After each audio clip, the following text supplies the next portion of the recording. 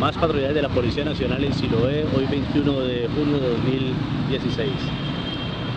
El helicóptero de la policía haciendo patrullaje pues acá en Siloé. Siloé City Fundación Nueva Luz para el mundo entero.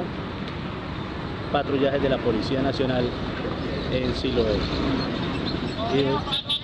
Ya va hacia el barrio Belén el helicóptero después de haber ido a Tierra Blanca y Siloé, dando la vuelta ya ya está dando la vuelta, se lo pueden observar, está dando la vuelta para arrancar otra vez hacia Siloé.